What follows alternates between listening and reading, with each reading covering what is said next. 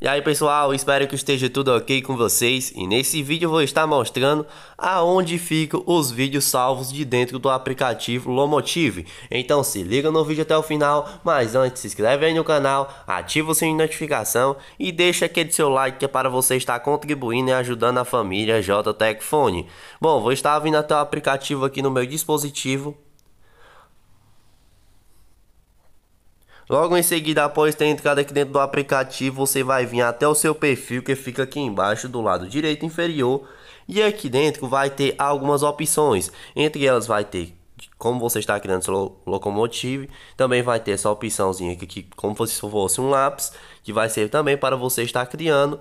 Vai ter a segunda opção de favoritos e na última opção terá aqueles seus vídeos locomotives que foram salvos aqui dentro da sua conta. Muito simples de você estar encontrando essa função sem dificuldade alguma e no mais eu espero ter ajudado vocês com mais essa dica aqui dentro do canal e até a próxima família JTech Fone.